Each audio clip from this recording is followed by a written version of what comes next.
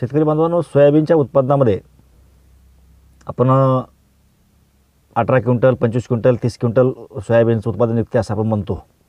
मी एक मागा व्हिडिओ टाकला होता. बहुतांशी यूट्यूबवरला तो एक्कावन्न क्विंटल उत्पादन देण्याचा पहिला व्हिडिओ असेल. बऱ्याच लोकांना ते खोटे वाटलं. आणि ते आपल्या महाराष्ट्राच्या दृष्टिकोनातून बघितलं तर ते खोटं वाटण्यासारखंच आहे? कारण महाराष्ट्रामध्ये एकावन्न क्विंटल सोयाबीन मिळणं शक्य नाही आहे परंतु एक्कावन्न क्विंटल सोयाबीन ज्या जॉर्जियाच्या काही शेतकऱ्यांनी घेतलं होतं. तर ती माहिती देण्यामागाला उद्देश असा होता की एक्कावन्न क्विंटल जर जॉर्जियामध्ये सोयाबीनचं उत्पादन उत्पादन भेटलं असेल तर सोयाबीनची कॅपॅसिटी एक्कावन्न क्विंटल देण्याची आहे. मग त्यासाठी त्या शेतकऱ्यांना काय केलं? ते ते सर्व गोष्टी आपण जर आपल्या शेतामध्ये केल्या तर एकावन्न क्विंटल नाही मिळणार परंतु मॅक्झिमम आपल्याला उत्पादन मिळेल. आणि ती व्यवस्थापन आपल्याला कळावं. म्हणून मी ती एकावन्न क्विंटलचा एक फॉर्म्युला सांगितला होता. त्या संदर्भातला एक व्हिडिओ आपल्या चॅनलवरती एकावन्न क्विंटलचा वेगळा व्हिडिओ आहे. मला तुम्हाला आजच्या व्हिडिओमध्ये हे सांगायचं आहे की सोयाबीनचं उत्पादन जे घटतं ते जे अनेक कारण आहेत त्यापैकी एक महत्त्वाचं कारण आहे कीड आणि रोग. आणि कीड आणि रोग ह्या मुद्द्यामुळं सोयाबीनचं उत्पादन किती घटतं हे जर आकडा आपण जाणून घ्यायचा म्हणला तर एका निष्कर्षानुसार म्हणजे मी अंदाजे बोलत नाही आहे जे काही प्रयोग घेण्यात आले देशपातळीवर देशपातळीवर घेतलेल्या प्रयोगामध्ये त्याचा जो काही निष्कर्ष निघाला त्या निष्कर्षाच्या अंती असं निष्पन्न झालं की बावन्न टक्के उत्पादन ह्या कीड आणि रोग ह्याच्यामुळं सोयाबीनचं उत्पादन कमी होतं.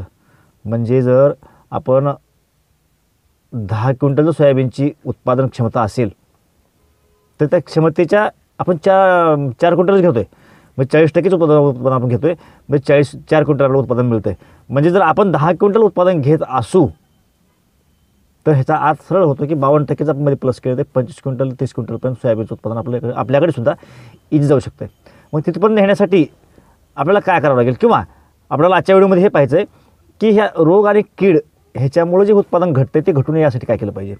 तर ओझरता आपण या व्हिडिओच्या माध्यमातून ते जाणून घेण्याचा प्रयत्न करूया. तर रोगाचं जर आपण नियंत्रण केलं तर साडेबारा टक्क्यापर्यंत उत्पादन वाढते आणि जर किडींचं नियंत्रण केलं तर बत्तीस टक्क्यापर्यंत आपलं उत्पादन वाढते आता कीड व रोगाच्या नियंत्रणासाठी एकात्मिक व्यवस्थापन जर आपण केलं तर त्याचा फायदा होऊ शकतो. जे आपल्याला अनेक पॉईंट ह्यामध्ये म व्हिडिओमध्ये पाहिजे आहेत. त्यापैकी एक मुद्दा कीड व रोगाचे एकात्मिक नियंत्रण. आता एकात्मिक नियंत्रणामध्ये काय येतं? की कीड रोगाच्या नियंत्रणासाठी एकात्मिक व्यवस्थापन पद्धती विकसित करण्यात आलेली आहे. या पद्धतीचा अवलंब केल्याने किडी व रोग नियंत्रणाचा खर्च कमी होऊन रसायनाच्या अयोग्य वापरामुळं होणाऱ्याची होणारी निसर्गाची हानी आहे. तीही टाळता येते व आणि उत्पादनही आपल्याला वाढवता येतं त्याच्या रोग आणि किडीवर आपल्याला नियंत्रणसुद्धा मिळवता येतं.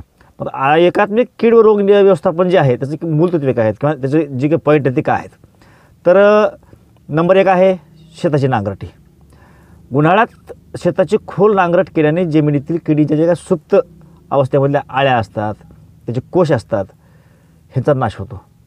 तसेच बुरशीजन्य जे काही रोग भविष्यात पडणार असतात आपल्या पिकावर त्यांचासुद्धा नाश होतो. त्यामुळं उन्हाळ्यामध्ये लवकर नांगरटी करून रान उन्हाला मोकळं टाकलं पाहिजे. हा सुद्धा एकात्मिक कीड व्यवस्थापनाचा रोग व्यवस्थापनाचा एक मुद्दा आहे. दुसरा मुद्दा आहे फेरपालटीची पिके. म्हणजे खरीप हंगामात सोयाबीन पिकानंतर रब्बी अगर उन्हाळी हंगामात सोयाबीनचे पीक घेऊ नये. कारण तसे केले असता कीड व रोगांच्या जीवनक्रमात खंड पडत नाही. आणि पुढील पिकावर त्याचा प्रादुर्भाव होतो. त्या दृष्टीने सोयाबीन ऊस ग सोयाबीन गहू असा पिकांचा जर आपण क्रम ठरवला तर तो योग्य राहतो. म्हणजे आपल्याला उत्पादन वाढवण्यासाठी काय योग्य आपण ते पाहतोय. आपल्या सुईचं काय? तो टॉपिक वेगळा. म्हणजे सोयाबीन जेणे तो सोयाबीन घ्यायचे का घ्यायचे का नाही घ्यायचे आपण ठरवायचे. परंतु सोयाबीनचं उत्पादन वाढवण्यासाठी काय आवश्यक असतं काय योग्य असतं आपण ते सांगण्याचा प्रयत्न करतो ते समजून घेण्याचा प्रयत्न करा. त्याच्यानंतर जर आपण तिसरा मुद्दा पाहिला तर तिसरा मुद्दा आहे आंतरपिके घेणे. सोयाबीन पिकात मक्याचे आंतरपीक घेतले असता पांढरी माशी इतर किडी व रोगांचे प्रमाण कमी होते असे आढळून आलं आहे. म्हणजे जर आपल्याला त्याचं प्रमाण कमी करायचं असेल तर आधीमध्ये आपण जे हिरवाड म्हणून टाकतो तसं सोया मकाचं पीक जर आपण घेतलं तर ते आपल्याला फायद्याचं ठरू शकते. ऊस व कपाशीमध्ये सोयाबीनचे आंतरपीक फायदेशीर असल्याचे प्रयोगांती आढळून आले आलेले आहे. त्यामुळं आंतरपीक कुठलं घ्यायचं हे सुद्धा आपण लक्षात घेतलं. जर सोयाबीनमध्ये आपण मका हे आंतरपीक घेतलं तर आपल्याला पांढरी माशी आणि इतर किडीचा व रोगांचं प्रमाणसुद्धा आपल्याला कमी करता येतं. हे प्रयोगातून सिद्ध झालं मी मंच बोलत नाही आहे एक जे आम- प्रयोगांची जी काही म- माहिती आहे ती माहिती आपल्यापर्यंत मी पोहोचवण्याचा प्रयत्न करतो आहे एकाच वेळी चौथा मुद्दा आहे एकाच वेळी पेरणी करणे. आता त्याच्यामध्ये सोयाबीनची एका शेतामध्ये तसेच आजूबाजूच्या शेतकऱ्यांनी एकाच वेळी पेरणी करावी. म्हणजे कीड व रोगाचे नियंत्रण करणे शक्य होते. उशिरा पेरलेल्या पिकावर किडी व रोगांचा जास्त प्रमाणात प्रादुर्भाव होत असल्याचे आढळून आले आहे. महाराष्ट्रातील सांगली व कोल्हापूर या भागात उशिरा पेरलेल्या पिकावर तांबेरा रोगाचा प्रादुर्भाव जास्त होतो. आता कोण लवकर पेरावं कोण उशीरला पेरावं जरी हे आपल्या हातामध्ये नसलं तर आपण जे काही शेजारी पाजारी आहेत हे शेजारी पाजाराला आपण सल्ला मसलत करून एक राय करून सर्वांनी जर एकाच वेळेला पेरणी केली तरीसुद्धा आपल्या पिकावरती जे काय कीड आणि रोगी असेल रोगाचे जे नियंत्रण आहे ते आपल्याला करता येऊ शकते ते प्रमाण कमी होऊ शकते. आणि लवकर जर पेरणी केली असेल आपण तर बहुतांशी कीड रोगीचा प्रादुर्भाव हा कमीच होत असतो. त्यानंतर पाचवा मुद्दा आहे रोग किडीग्रस्त झाडे व किडी नष्ट करणे. आता शेतामध्ये वेळोवेळी लक्ष देऊन रोग व किडीग्रस्त झाडे काढून ते नष्ट करावीत. तसेच किडींच्या अंडी आळी या अवस्था अल्प प्रमाणात आढळून आल्यास त्या रोग गोळा करून त्यांना रॉकेल अगर कीटकनाशक मिश्रित पाणी टाकून ती नष्ट करून टाका. कशाही पद्धतीने करा त्याला नाहीसं करून टाका. विशेषतः लष्करी आळी या किडीच्या अंड्याचे पुंजके वगैरे हे किडींच्या आळ्या यांच्या ह्या पद्धतीने नियंत्रण जर आपण केलं तर ते परिणामकारक ठरू शकते. मग आता किती शेतकरी आपण ह्या अशी झाडे नष्ट करतो? बहुतांशी करत नाही. तर ते केलं पाहिजे. म्हणजे काय केल्याच्यानंतर आपलं उत्पादन वाढणार आहे आपण ते पाहण्याचा प्रयत्न करतो समजून घ्यायचा प्रयत्न करा.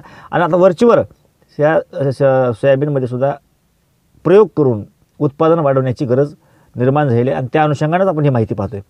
आता कीड रोखण्यासाठी जर रोखायची असेल तर त्याच्यासाठी काही इतर उपाय पण आहेत. आपण हे पाच मुद्दे बघितले एकात्मिक कीड व्यवस्थापन रोग व्यवस्थापनाचे. त्याच अनुषंगानं आणखी काही मुद्दे आपण पाहू. सोयाबीन पिकाला हे पिकात द्विदल हे ते म्हणजे हे पीक द्विदलवर्गीय असल्याने नत्र खताची अल्प प्रमाणात गरज पडते. म्हणजे वीस किलो प्रति हेक्टरला जर एवढी जर मात्रा दिली तर ते सं विशेष पद्धतीचा. मुळामध्ये नत्राची गरज नसते पण आपल्या जमिनीमध्ये जर नत्राचं प्रमाण कमी असेल आपण मा माती परीक्षण केलं असेल आणि जर नत्राचं प्रमाण कमी असेल तर मग त्या अनुषंगाने थोडं बहुत नत्र आपण द्यायला हरकत नसते. आता महाराष्ट्राच्या जमिनीमध्ये तर पा पा जे पालाश आहे. पालाशचं प्रमाण तर महाराष्ट्राच्या जमिनीमध्ये मुबलक आहे. कारण मुळातच ज्या बेसॉल्ट ह्या खडकापासून आपली जमीन बनलेली आहे. म्हणजे प्रत्येक जमीन एका विशिष्ट अशा प्रकारच्या खडकापासून बनते. तर आपली महाराष्ट्रातली जमीन ही बेसॉल्ट ह्या खडकापासून बनलेली आहे. ज्याला आपण डेक्कन ट्रॅपसुद्धा म्हणतो. तर या खडकाचं वैशिष्ट्य आहे की मुळामध्येच आपली जी काही मुख्य तीन अन्नद्रव्य आहेत रत्र स्फुरद आणि पालाश यापैकी पालाश हे अन्नद्रव्य मुळातच या जमिनीमध्ये जास्त असतं. त्यामुळं आपल्या महाराष्ट्राच्या जमिनीमध्ये पालाशची फारशी गरज पडत नाही. आणि विशेष करून ह्या सोयाबीनला तर नाहीच नाही आहे त्यानंतर अत्यंत सुपीक जमीन असल्यास व भरपूर शेणखत वापरले असल्यास रासायनिक नत्र खत अत्यल्प लागतो किंवा लागतच नाही. नत्र खताची मात्रा जास्त झाल्यास पीक माजते व पाने खाणाऱ्या आळ्यांचा प्रादुर्भाव मोठ्या प्रमाणावर होतो. म्हणजे आपण जर नत्राचं प्रमाण वाढवलं फाटे फुटत्यात पीक हिरवं पडते म्हणून तर त्यामुळं काय होतं की पाने खाणाऱ्या आळ्यांचा प्रादुर्भाव हा अति नत्राच्या प्रमाणामुळे किंवा अति युरियाच्या वापरामुळे सुद्धा वाढत जातो. हे सुद्धा आपण लक्षामध्ये घेणं गरजेचं आहे. शेतामध्ये पक्ष्यांना बसण्यासाठी जागा करणे. ती करायची. हा उपाय सांगतो मी. शेतामध्ये जागोजागी शक्य आपल्या पक्षाला बसता आलं पाहिजे. झाडं असावे झाडे नसतील तर मग त्याला बसता येईल असं काहीतरी तुम्ही व्यवस्था करा. आणि किडींच्या आळ्या पिले व पूर्ण झालेले कीटक हे पक्ष्यांचे नैसर्गिक खाद्य असते. त्यामुळं त्यांना जर बसायची सोय केली तर ते त्या ठिकाणी बसतात आणि त्या महिन्यावरला जे काही आळ्या असतील पिल्ले असतील पूर्ण वाढ झालेले कीटक असतील यांचं ते नैसर्गिकरित्या ते खाऊन ते त्यांना नाहीसं करतात त्याचा आपल्याला फायदा होतो. शेतात ठराविक अंतरावर अंदाजे हेक्टरी शंभर ठिकाणी पक्ष्यांना बसण्यासाठी दहा ते पंधरा फूट उंचीची जागा जर आपण केल्या तर किडीचे परिणामकारक नियंत्रण होते. रासायनिक कीटकनाशकावर होणारा खर्च वाचतो. त्यानंतर प्रकाश सापळा वापरणे हा सुद्धा एक उपाय आहे. रात्रीच्या वेळी शेतामध्ये दोनशे वॅटचा दिवा लावून खात्याखाली रॉकेल मिश्रित पाण्याने चे टोपलं ठेवावं आणि त्यावर दिवा लावल्याच्यानंतर रात्रीच्या वेळेला जे काही ते कीटक असतात ते आकर्षित होतात आणि त्या टोपल्यामध्ये पडून ते मरतात. हा सुद्धा एक उपाय आपण करू शकतो. पुन्हा कामगंध सापळी वापरणे सोयाबीन पिकावरील लष्करी आळी व शेंगा पोखरणाळी आळी या किडीसाठी बाजारात कामगंध सापळे उपलब्ध आहेत. या सापळ्यात वरील किडींचे जे काही वर्णन आहे त्याला नराला आकर्षित करेल असे स्त्रियांचे जे काही न मा- मादीचे जे काही गंध असतो ते असणारे सापळे असतात ते जर वापरले आपण. तर ते यामध्ये ती अडकतात आणि तिचा आपल्याला नाश करता येतो. त्यानंतर रोगमुक्त बियाणांचा वापर करणे हा सुद्धा एक मुद्दा आहे. पेरणीसाठी रोगमुक्त शेतात अगर उत्तम रीतीने रोग नियंत्रण केलेल्या शेतामध्ये तयार झालेलं बियाणं आपण वापरावं. मग त्यासाठी बहुतांशी आपण आपल्या घरी जर बियाणं केलं तयार केलं ते ते उत्तमच आहे. पण बियाणं वापरत असताना ते रोगमुक्त आहे काही छान करून जर आपण वापरलं तर त्याचासुद्धा आपल्याला फायदा होतो. कीड व रोग प्रतिकारक जातींचा वापर करणे. आता सोयाबीनच्या ज्या ज्या जाती आहेत म्हणजे पूर्वी काळ असा होता कुठलंही सोयाबीन घ्यायचं आणि पेरायचं. आता तो काळ राहिलेला नाही आहे आपणाला पाहावं लागेल की रोग आणि किडीला प्रतिकार करतील अशा जाती कुठल्या आहेत त्या जातींचा आपल्याला वापर करावा लागेल. त्याच्यानंतर परजीवी कीटक असतील त्या परजीवी कीटकांचा यामध्ये परजीवी बुरशी परज परजीवी कीटक व जीवाणू यांचा समावेश होतो. सोयाबीनच्या शेंगा पोखरणारे आळी या किडीच्या नियंत्रणासाठी ट्रायकोड्रामा ग्रामा हे अंड्यावरील उपजीवी कीटक व घातक लस पाने खाणाऱ्या आळ्या बॅलिसस थुरिलिजियन्सी बॅक्टेरिया या जीवाणूंची कीटकनाशके बाजारात उपलब्ध असल्याने त्यांचाही वापर आपण करू शकतो. ह्यांच्यावर अटॅक करणारे. त्यानंतर पीक व्यवस्थापन पद्धतीचा सुयोग्य वापर करणे. म्हणजे पीक व्यवस्थापन पद्धतीचा सुयोग्य वापर करणे असं म्हणतो मी. यामध्ये पिकासाठी लागणाऱ्या अन्नद्रव्यांचा योग्य पुरवठा जमिनीचा सामू बघणे सामू आपल्या सोयाबीनसाठी सहा ते सातच्या दरम्यान जमिनीचा पी एच असला पाहिजे. त्यानंतर हेक्टरी झाडांची संख्या असते तर चार ते पाच लाख प्रति हेक्टरी झाडांची संख्या असावी. सोयाबीनची त्यापेक्षा जास्त असू नये किंवा कमी असू नये योग्य वेळी पाण्याची पाळी देणे झाडामधील योग्य अंतर पेरणीची योग्य वेळ. या सर्व बाबी कीड व रोगावर होणारे नुकसान कमी करण्यास सहाय्यक ठरतात.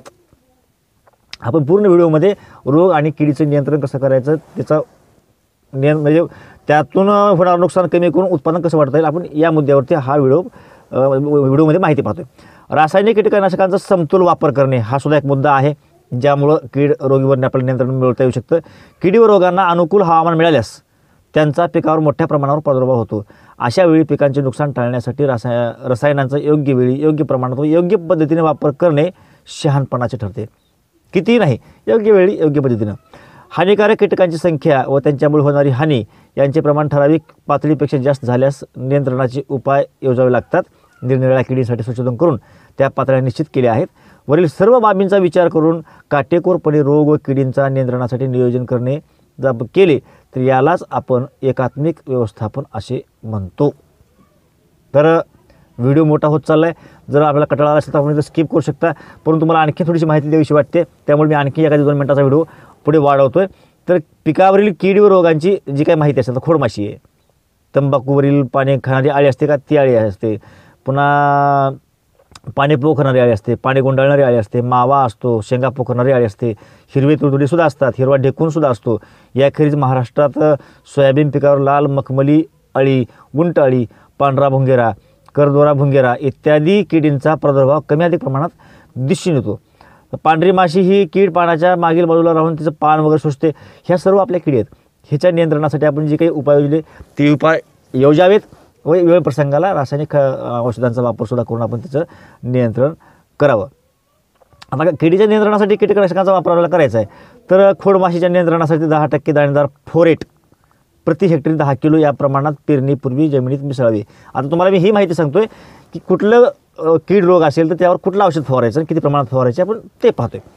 तर खोडमाशीच्या नियंत्रणासाठी दहा टक्के दाणेदार फोरेट प्रति हेक्टरी दहा किलो या प्रमाणात पेरणीपूर्वी जमिनीत मिसळावे.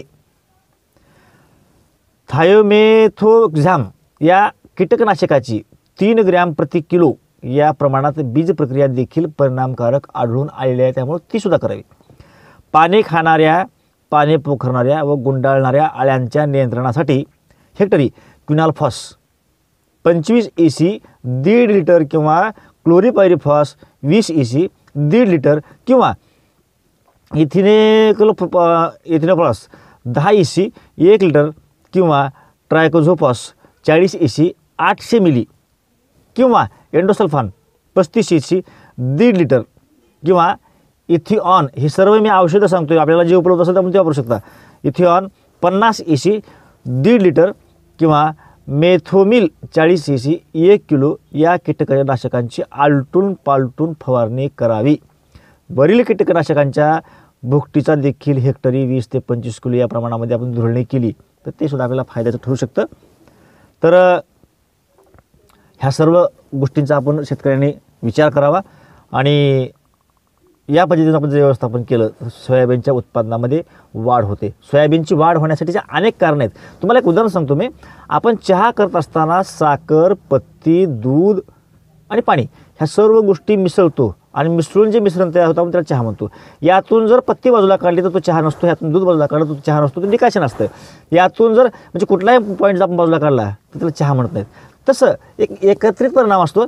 सोयाबीनच्या उत्पादनामध्ये भरघोस उत्पादन घेण्यासाठीचे अनेक मुद्दे सहाय्यकारी ठरतात त्यामध्ये कीड व रोग हे हा मुद्दा सुद्धा आहे. तर ते आपण पाहण्याचा प्रयत्न केला. आपणाला जर एकरी तीस क्विंटल उत्पादन कसं घ्यायचे जमीन कसण्यापासून ते अगदी उत्पादन घेण्यापर्यंत ह्याची माहिती पाहिजे पाहिजे पाहिजे असेल तर आपण हा व्हिडिओ पाहू शकता. आणि जर आपणाला या या व्यतिरिक्त सोयाबीनचं उत्पादन आपण जर पारंपरिक पद्धतीने काम करतोच पण सोयाबीनचं उत्पादन वाढवायचं कसं? काय केल्यावर वाढतं? ह्याची माहिती पाहिजे असेल तर हा आपण खाल्ला व्हिडिओ पाहू शकता. व्हिडिओ आवडला तर लाईक करा. चॅनलवर नवीन असाल तर सबस्क्राईब मात्र निश्चितपणे करा त्यामुळे आम्हाला प्रेरणा मिळते. नमस्कार.